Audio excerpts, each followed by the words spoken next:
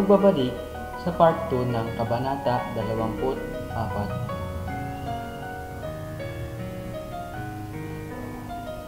Larong iyon. Kasiya-siya at nakawiwili ang nasabing laro.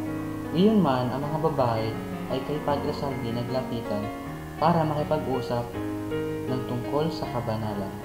Ngunit parang wala sa kondisyon ang kura kaya't malabo ang kanyang mga sagot at palinganina. Nagsimula ang laba, labanan, simula ang labanan. Kapwa mabibigat ang sulong ng bawat isa. Liwanagin natin, ani Ibarra, na kapag nagtabla tayo ng hihilingin nating dismissing, dismissin ang, dismissin ang kaso. Nang nasa kalagitnaan na ang labanan ay may natanggap na telegrama sa Ibarra.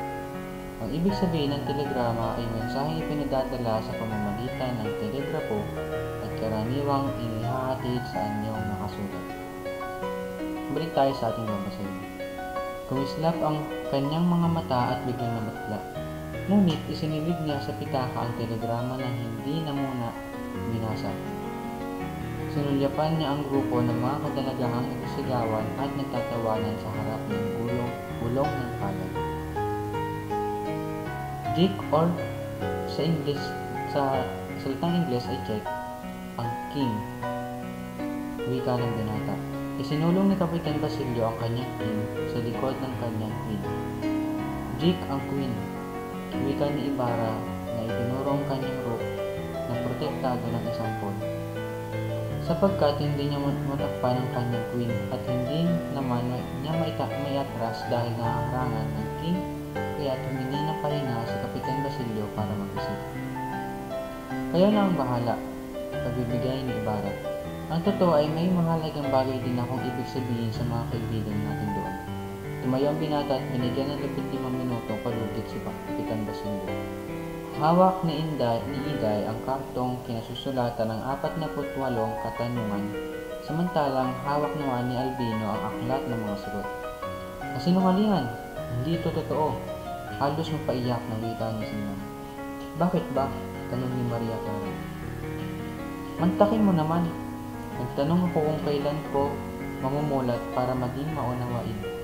Inihagis ko ang dice. Nang basahin ng lalaking ito, ang sagot ay pagtibuo, tinubuan daw ng buhok ang palaka. Paano ka naman matutuwa? Dinilaan niya sila ang binata ng senyerista. Hindi nakapagpigil ang hal- ng halakak ang lalaki. Eh, bakit mo naman naisipan ang tanong na iyon? Wika ng pinsang si Victoria. Iyan ang, iyan ang napala mo tuloy. Ikaw naman, sabi nila kay Ibarra at iniabot ang gulo. Napagkasundaan namin na kung sino ang makatanggap ng pinakamabuting sagot ay may tatanggaping gantimpala. Nakapagtanong na kami lahat. At sino naman ang nakatanggap ng pinakamabuting sagot? Si Maria Clara! Si Maria Clara! Wika ni Sinang. Sa ayaw man niya o sa gusto, pinilit naman siyang itanong ang tunay at tapat kaya, kaya siya. Ang, at ang sagot ng aklat ay mabilis na takpan ng kamay ng namumulang si Maria Clara ang bibig ni Sinang. Kung gayon ay iabot ninyo sa akin ang gulong. Nakangiti si Crisostomo. Ang tanong ko, Magtatagumpay kaya ako sa aking ginagawa. Nakakaantok naman ang tanong mo, reklamo ni Sinang. Inihagis ni Ibarra ang dice at hinanap sa aklat ang pahina ng sagot ayon sa numerong lumabas sa dice. Ang pangarap ay pangarap lamang, basa ni Albino. Binu binunot ni Ibarra ang pitaka at ginuha ang telegrama. Kumikinig ang kanyang kamay ng buksan nito. Mali ang libro mo, masiyang wika ni Ibarra kay Albino. Basahin mo ito. Aprobado ang proyekto sa paaralan panalo. Pana, paaralan panalo ka sa kaso. Anong ibig sabihin nito? Hindi ba sabihin ninyo na ay may gantimpala ang tatanggap ng pinakamabuting sagot? Aniya sa maramdaming kinig habang hinahati sa dalawang bahagi ang telegrama. Oo, kung gayon ay ito ang ihahandog kong gantimpalaan ng binata, sabay abot kay Maria Clara ng kalahati ng telegrama. Magtatayo ako ng paaralan para sa mga ating para sa mga bata sa ating bansa. Ang paaralan ang handog ko. Paano naman ang kalahati? Para sa mga makatatanggap ng pinaka masamang sagot, kung gayon ay para sa akin, sigaw ni Sina. Iniabot ni Ibarra ang kalahati ng telegrama kay Sining at saka marahang lubakad na palayo. Pero ano ang kahulugan ng papel na ito? Malayo na si Ibarra kaya't hindi na nasagot ang tanong ni Sinang. Maligayang nagbalik ang binata sa larong ajedrez. Pina, pinahid naman ni Maria Clara ang luha ng kaligayahan sa kanyang mga mata. Tinungan ni Padre Salvi ang sasayang, nagsasayang grupo ng kabataan. Sa paglapit niya ay naputol ang tawanan at usapan. Ano ito?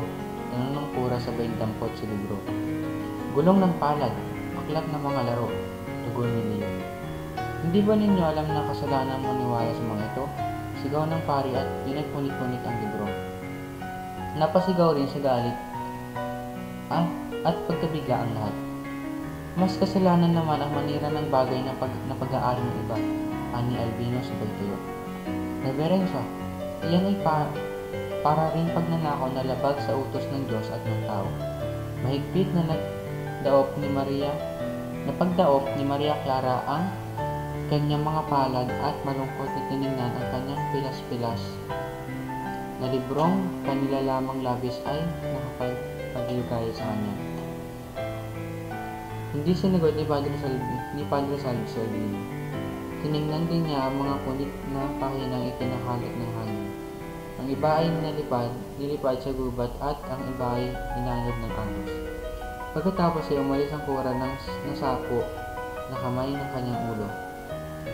Huminto siya sa sandali at nakipag-uusap kay Ibarra na naghatid naman sa kanya ng karuwayan. Mabuti nga't umalis na ang walang pakisama or killjoy sa salitang Ingles na yun. Bulong, ng si bulong ni Sina. Parang nababasa ko sa mukha niya ang ibig niyang sabihin. Huwag kayong masyadong magtawanan. Alam ko ang inyong mga kasalanan. Pagkatapos maibigay ng kanyang handog na kasintahan. Sa kasintahan ay nagpatuloy si Ibarra sa kaikikularo ng ajedrez kay Kapitan Basilio. Ngunit, ngunit dahil sa labis na kaligayahan hindi siya naging maingat sa pagsulong. Bunga nito ay nagwakas sa tabla ang laban sa kabila ng gipit na kalagayan ng matanda. Tuwang-tuwang napasigaw si Kapitan Basilio. Dismiss na ang kaso! Dismiss na! At nagkamay ang dalawa. Habang nagkakatuwaan ng lahat, dumating ang apat na gwardiya sibil na pinamumunuan ng isang sarhento. May bayoneta ang dulo ng kanilang rifle. Takot na takot ang mga babae. Walang kikilos, sigaw ng sarhento. Babarilin namin ang kumilos. Hindi pinansin ni Ibarra ang banta at nilapitan ng sarhento. Anong kailangan ninyo? Tanong niya. Pagsuko ngayon din ng kriminal na si Elias, ang inyong piloto kaninang umaga. Galit ng wika ng sarhento. Kriminal? Piloto? Baka nagkakamali ka, tugon ni Ibarra. Hindi, si Elias ang akusado ng bugbog ng pari. Ah, siya ba ang piloto? Siya na nga, ayon sa ulat. Tumatanggap kayo ng masamang tao sa inyong handaan, ginoong Ibarra. Sinukat ng tingin ni Ibarra ang sarhento mula ulo hanggang paa. Hindi ko tungkulin isang guni sa iyo ang lahat ng ginagawa ko. Lahat ay tinatanggap sa aking handaan. Ikaw rin, kung napaaga ka, kung napaaga ka lamang ay padudulugin ka namin sa mesa. Tulad ng inyong pinuno, nakasama namin dalawang oras na ang nakararaan. Tinalikuran ni Ibarra ang sarhento nang walang nagawa kundi utusan ng kanyang mga sundalo na maganap sa gubat at sa iba pang dako. Nang makita ni Don Filipo ang nasusulat na sa description ni Elias na dala ng sarhento ay sinabi niya, Aba, ang description iyan ay angkop sa siyam sa bawat sampung Pilipino. Baka nagkakamali kayo.